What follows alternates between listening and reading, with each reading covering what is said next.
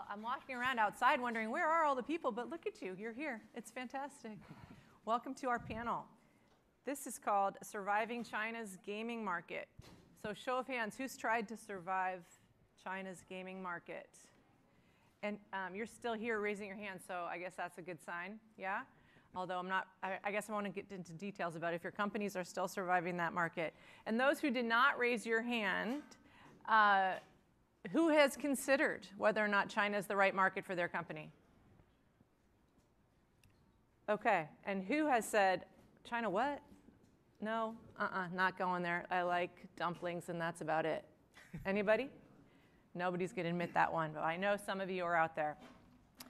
Well, we are going to be here now to uh, hopefully take away some of the fear, introduce some more understanding, so that the rest of you can uh, appreciate the opportunity in China and go in warily so that you can understand what the regulations are, which are ever changing, and you can understand um, some of the best practices and a few other, I guess, words of wisdom from my esteemed panelists.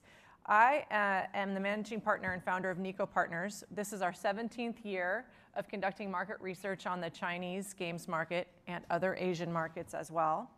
And in that time, we've watched the market go from $100 million in revenue a year to $31 billion in revenue a year. So just on revenue alone, it's, um, it's an impressive market to be part of, but it makes it, the Chinese government makes it a little bit tricky, and there are a lot of nuances there. And so today, with my panelists, uh, in the middle, we have Greg Pilarowski, who is the founder of Pillar Legal, a law firm that specializes in entertainment law for the most part between China and the West, and he can explain more about his company. We have Taewon Yun, who's a general manager of global publishing at Super Evil Megacorp of Vainglory fame. And we have Andrew Tang, who's the chief business officer at Gamepoch, which helps console companies right now uh, introduce and launch, uh, publish their game software in China, uh, most prominently for Sony and for other companies as well. So we have a few questions laid out for you, and I think we'll just kind of get to it.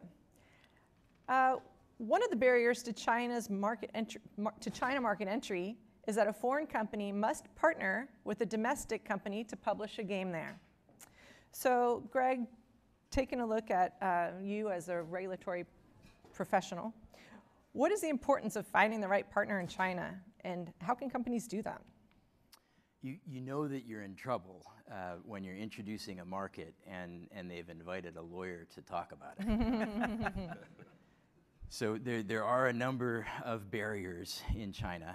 Uh, the, the biggest one is what Lisa's already mentioned, and that is that uh, as foreign game companies, we can't self-operate or self-publish a, a game in China. That's something that's regulated by the whole framework that's designed to control the internet, and the game industry comes in underneath that.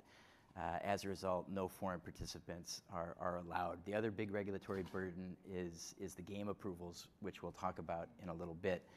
Uh, but it means that if you're going into the China market, you, you know, with some narrow exceptions in the mobile space, if you self-publish on, on the Apple App Store, um, you have to work with a local partner. Uh, so step number one is going out and finding that partner. The, the helpful thing is, is that there's a lot of them, and that, um, that gives you a little bit more possibility, with the biggest being Tencent and uh, NetEase number two. Mm, thank you. So, uh, Andrew, how can you find out if your Chinese partner is looking after your interests fully? And what can you do if they're not?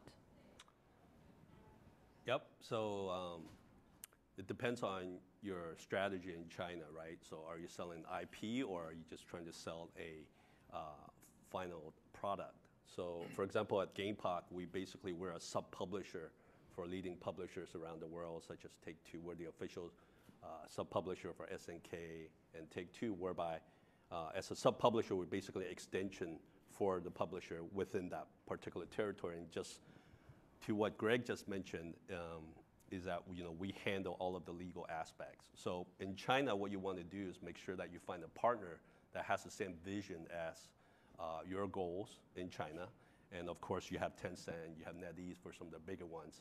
Um, but keep in mind that in China you have mobile titles, you have PC titles, you also have console titles. So depending on your strategy and which type of platforms that you want, you, that you're developing your games on, um, finding the right partner will definitely help you um, reduce some of your costs in terms of you know making changes, necessary changes to adhere to the Chinese government regulatories. Um, but so basically, it helps you uh, make sure that you um, the titles are launched in a uh, simultaneous launch fashion around the world. And Taewon, do you have anything to add to you know the right, picking the right partner and any experience that you've had in your roles of, of what what you can do if the right partner doesn't feel like they're looking after your interests? Well, um, I actually have some experience of like getting burned uh, by the like prominent partners in the in the past in my previous um, companies. Um, like I think what I can say is that you do your homework really, really rigorously because um, it's the same everywhere, but especially in China, um, it is what it doesn't look like, right? So it's really hard to kind of like uh, just looking at the um, articles like published in, in, in the West, um, and a lot of times it's kind of like a little bit misleading. Um, and then the um, like you, have to take a look at the partner's reputation. You, you need to talk to them um, really deeply about like how they believe in what they do um, and so on. It, it requires a lot of due diligence. So I when I deal with Chinese partners, I spend really a lot of time to due diligence on what they do, what they really do, um, and what they are saying, and so on. That's good advice. Uh, Greg, let's talk about this ever changing regulatory landscape. I, I know my company has written way too much recently about the changing regulations, and every day there seems to be a new announcement from a new governing body. And we had a very long gap of nine months where no games were approved whatsoever. So, can you tell us what's happened in the past 12 months since maybe last April 1st? And, um, and, and kind of in a Cliff Notes version, explain to the audience where we are now? Sure. Probably the, the first point is, you know, what is a game approval? Um, in China, because the Communist Party is running the show, and they have censorship control over all forms of media, whether that's that's news or or movies or uh, uh, or games. Before anything gets published, uh, including games, it needs to go through a censorship review to make sure that what's reflected in the games uh, doesn't conflict with uh, party ideology or, or other things that, um, that concern the government. So that's what we're talking about. Uh, these game approvals have been in place for a long time, but with the two meetings, every year there's two meetings from the National People Congress and the, um, uh, the CPPCC, the Chinese Political People's Political Consultative Conference. It happens in Beijing every March. And with the last meetings in 2018, there was a government reshuffle. And so the two organizations that were the prime regulators of the game industry, uh, MOC and SAPRF, were reshuffled. And with that reshuffling, the game approvals shut down. Uh, and that shutdown lasted all the way until December, so a nine month period. Uh, it attracted a lot of attention with Tencent's Q2 earnings call in August, uh, because for the first time in 13 years, Tencent's uh, net profits actually dropped, and it dropped by quite a bit, like over 20 points. So uh, it was a, a, a big issue, and, and the folks pointed to the game approvals uh, being delayed as uh, one of the reasons. So the question was, when was it going to reopen? It did reopen in December. Since December, we've had about 1,000 domestic games approved, 30 foreign games approved.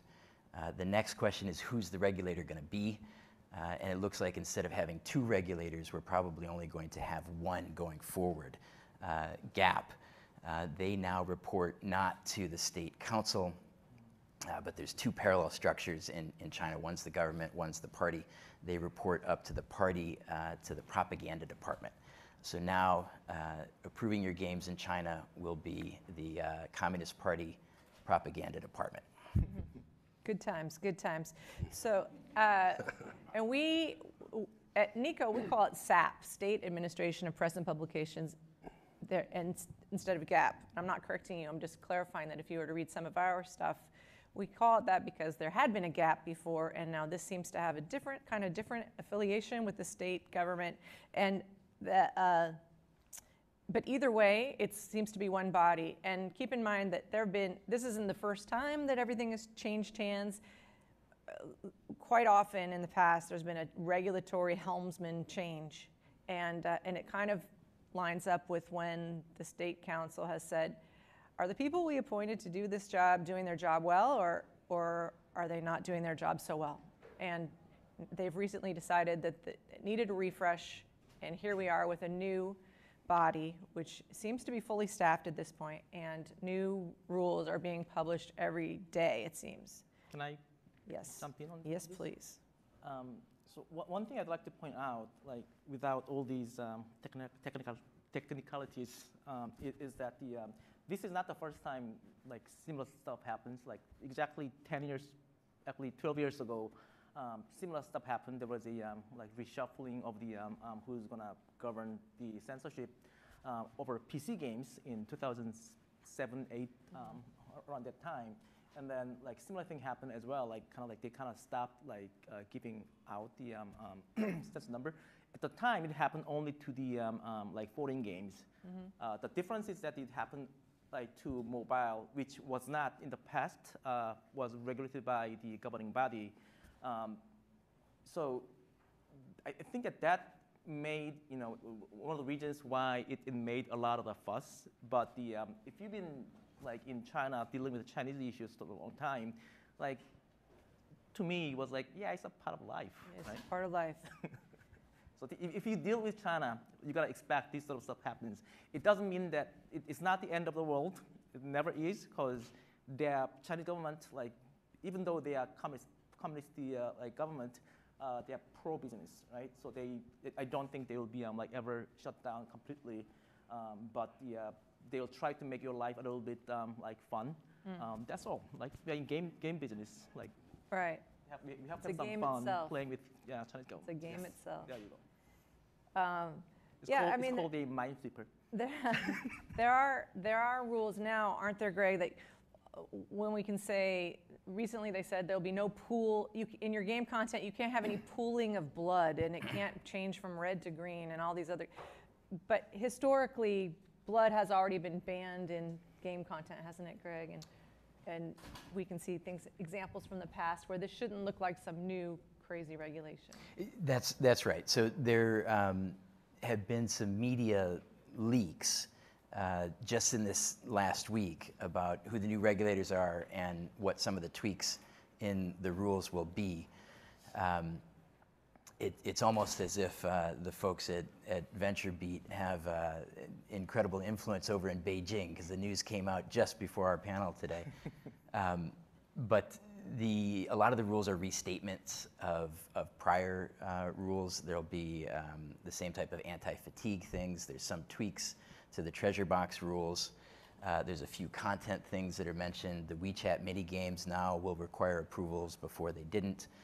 Um, and there's also going to be an adoption of self-censorship. So in the past, the Ministry of Culture had uh, a very uh, efficient system for self-censors where they trained game censors inside all of the game companies. And then the game companies would have to do their own self-censorship review and submit a report when they're uh, applying for the game approval. Uh, GAP has decided, or, or SAP has decided, um, great idea. Let's outsource the, the, the censorship to the game companies themselves, or at least the level one review. And that's going to be happening now under the new regime as, as well. Okay. And Andrew, your, your expertise is more in the console space. And consoles were banned in China for 14 years, but they are no longer banned, and yet uh, they're not super popular there. The Chinese gamer is more accustomed to and perhaps more suited toward playing on PC or mobile devices. Uh, but lately, there's been um, more traction with PS4, and there's been some news that Tencent will distribute um, Nintendo Switch. And so, what are the opportunities for console games and hardware in China? And how about on any other kind of TV-based gaming? Yeah, this is the reason why we actually started Gamepoch. was back in 2015 when, uh, after the 14-year ban, uh, Sony started selling their console in March of 2015, and then we started the company in August of 2015, specifically to focus on uh, publishing on that particular platform. Um, as Lisa mentioned, it is you know it's, it's tough business right now for both console business because keep in mind that as the rest of the world, you know, you're talking about, say, Sony specifically, you're talking about around 90, 91 million install base, where in China you have a very small fraction of it. it's because, keep in mind, China, the, the gaming business actually grew um, from playing mobile titles. But now, what we're seeing is that, you know, there are provincial, uh, different provinces within China that are looking under the big screen as sort of the next phase of entertainment. So partnering very closely with Sony, what we want to do is to continue to bring AAA titles that run on the, you know, for, for China, also keep in mind that it's first generation for them. For us, we're about to move into the next generation of console product. But in China, um, you know, PS4, a lot of people never even heard of, especially in you know the lower tier cities, second, third, fourth uh, tier cities. However, um, I think there are some research papers that came out of Niko Partners that demonstrated the, the amount of time that people like to spend on the big screen um, shows that there's tremendous, tremendous growth potential for the console business. Okay. Well, in the past 12 months, uh, we have seen like zero foreign AAA titles get approved. And now, as of uh, hopefully this month, we're going to see a restart of of submissions for big games and the backlog of game approvals that's, that was built up for the nine months that game approvals were, was halt, were halted, um, we will start to see, there were 30, as Greg said, 30 foreign games published, but not all of them were big games. So why should this audience here still care about China? What makes it so enticing, and is it the most important market in the world? And, and uh, what's the future potential there? Taewon? Well, um, like let me put it this way: the um, if you look at the uh, PC, mobile, and console market of the world, um, like now mobile gaming market is around 50% of the entire market. 50% um, of that is taken by China. Uh, similar thing about uh, PC as well. So console has been predominantly in, in the Western market, but if you are on PC, on, mobile, being in China and then the, being successful in China is um, like really the way to like go for your growth as, as, a game game developer. Um, and then the um, um like there are a lot of like uh, China has always been like felt like a um, it's gold mine um, layered with mines, right? So you have to navigate like really carefully. But if you do your job correctly, like it can um, like it give you uh, a lot of like uh, reward. Um, so in, in the past, you know, I uh, I dealt uh, China like as a part of the um, Blizzard uh, World of Warcraft team. Um, and then there was a lot of fun times dealing with the um, um, censorship in China. Uh, Relaxing. That was a, like a holiday for you? Yeah, yeah. it was, um, yeah, really good vacation of the last 17 years. Like uh, Lisa and I sort of started around the same time in, in China, but not, not the same company, but I started to look at the um, China like 17 years ago as well. Um, anyways, um, like, I, I, do think that you can do it, but again, without like hard work, actually a, a lot of vacation, um, without like really studying uh, what you need to do. Also, uh, a lot of mistake uh, like Western de developers and publishers make is that you, you cannot just bring your game into China and like expect you're going to be successful. Uh, first of all, censorship is not going to allow you. Um, like as an example, the Fortnite um, and uh, PUBG are two titles that are still pending on getting approval. Uh, people are just, like a, a, lot of like uh, Western journalists like looking like purely at the uh, yeah like approval uh, started to resume um, when Fortnite and PUBG will be published. Um, not knowing exactly what's going on with uh, Epic or uh, PUBG, uh, my guess is that um, they should have been asked to modify a lot, like this bl- blood issues and everything. And then if you're not accustomed to it, or if you don't know what they're really, what, why and what they're asking, um, it takes a long time for you to um, like, like fix your, not fix, like modify your stuff for, for China market. And then that's why I kind of don't expect like Fortnite or PUBG to come out this year at all, because like I, I'm sure that they'll be going through that process of uh, modifying things over and over again. Well, you brought up PUBG, and uh, there's PUBG Mobile by Tencent, but PUBG for PC is wildly popular in China without being allowed there. So, what's with Steam? They're just the government just doesn't care. It like Steam is not approved, and yet Steam games are super popular and generate a lot of money. Uh, and PUBG just announced, well, we did some calculations, and it looks like a lot of revenue on PUBG comes from Asia. So, what, what's happening there, Greg? That's a great question. Um, so Steam is, uh, to put it politely, op- operating illegally uh, in China. They don't have any of the licenses that they that they're required to have to be able to publish games there or distribute games there. Uh, and then the games are not getting the game approvals as well. So it's a it's a non-compliant platform. Now it has been publicly announced that Valve is cooperating with Perfect World to launch um, a Steam China version that, that is compliant with the rules. Uh, and so we'll see how that, um, that strategy plays out.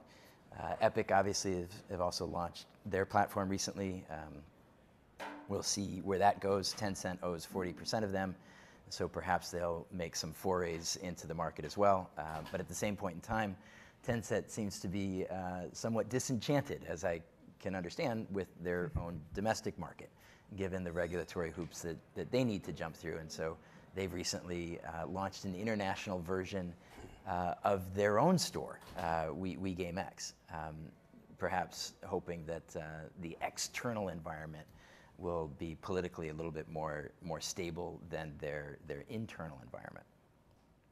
Okay. But doesn't iOS have the same problem, by the way? iOS. iOS.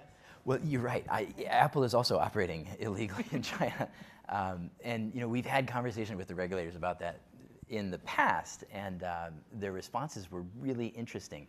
Uh, there were two points. One was uh, this is above my pay grade, uh, the, the, Chinese version of that, um, which essentially they, they meant that there was multiple considerations.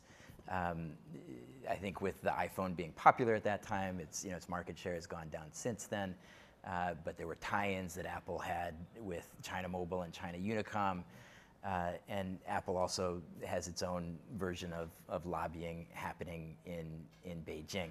Uh, the second comment that they said is that Apple's doing a good job. Uh, but what that means, Apple's doing a good job when it's coming from the guys who censor stuff, means that Apple is doing a good job of self-censoring their platform. Mm-hmm. they're, they're not fully compliant with the game approvals, but uh, you know, you're not going to see Dalai Lama wins Hollywood type game going into China on, on the Apple platform.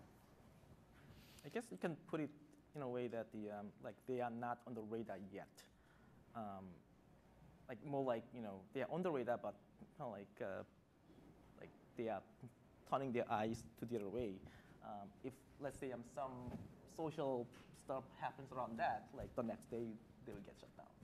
App, Apple's not on the radar? No, I mean, I mean the like the fact that the um, um, like non-compliant games are on iOS App Store and then Steam, they are essentially a censorship like government uh, body is looking the other way uh, because there hasn't been like real issues. But once it got let's say reported on the newspaper in China or not, then they will stop it. I, I think it's one one scandal away. Yeah. And so, uh, you know, if you have a situation where there's a game that's that's published um, on Steam or on Apple that has an Easter egg about free Taiwan, not that this actually happened, um, that that could in fact uh, capture some attention and could lead to political troubles um, for them.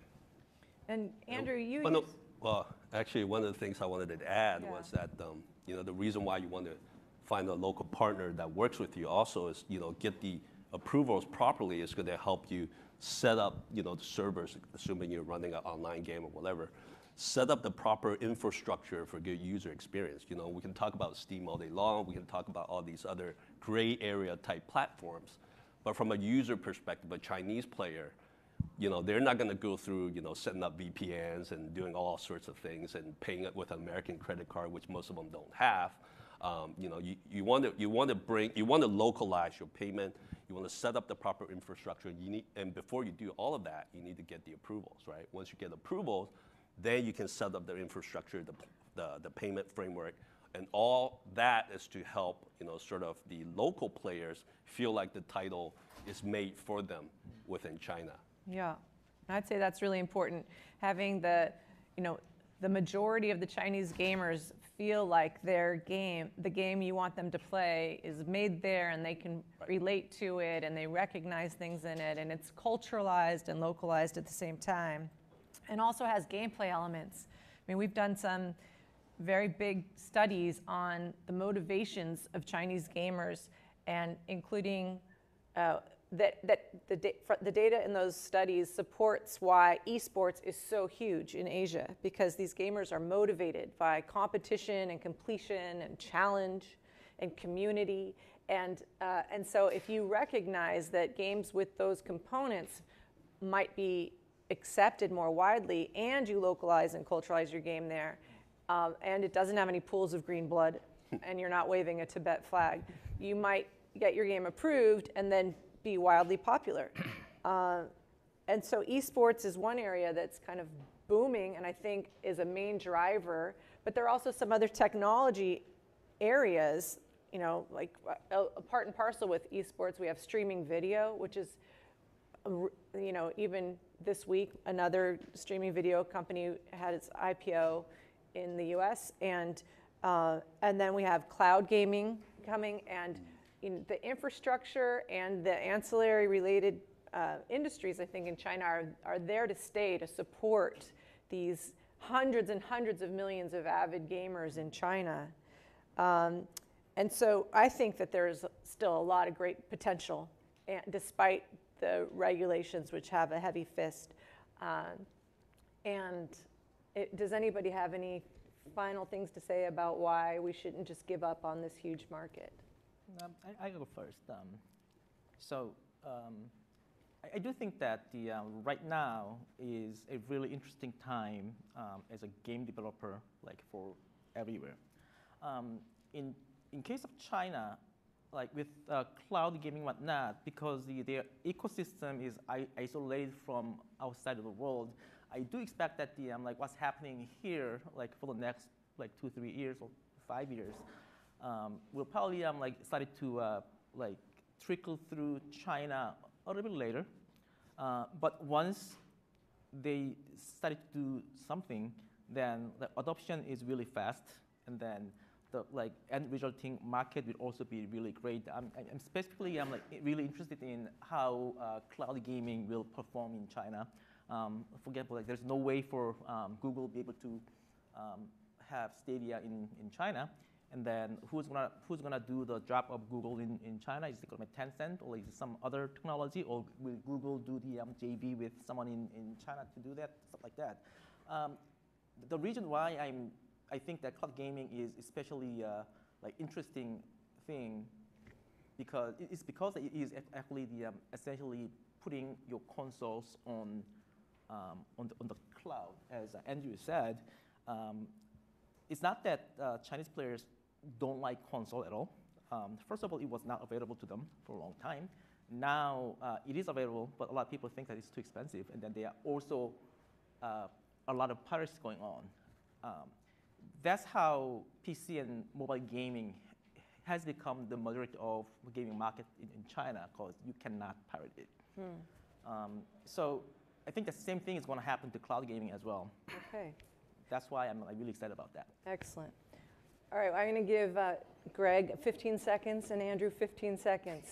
so Um, a, have at it. a parting commercial. Um, if you're interested in the regulatory framework, we'll be releasing a China Regulation Watch next week that gives a thorough update on all the game approval, uh, new rules, and then this summer working with Lisa at Niko Partners, we'll do the fifth edition of a hundred plus page memo on uh, the, the game regulatory landscape in, chart in China. If you go to our website, you can sign up and, and those come to you um, for free. If you have a hard time sleeping at night, I recommend it. All right, uh, you, uh, you, you have to read it though. you have to read it. And Andrew, you got um, One second. you one second. you have negative seven. Let's go. All right. So basically, you know, I mean, a lot of people say, well, you know, we just went through this freeze, but you really got to think about, you know, coming out of this past, what, nine, ten months, right? What what China has really done is to, this this whole reformation basically reset, you know, sort of like the requirements for foreign titles coming to China.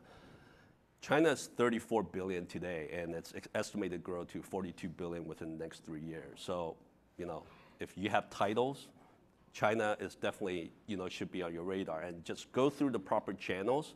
There, you, you know, you'll be able to find a potential market for your products. All right, that's it. I guess we, we have no time for questions, but if you want to find us, we will be wherever we are told to go to answer your questions. Thank you so much.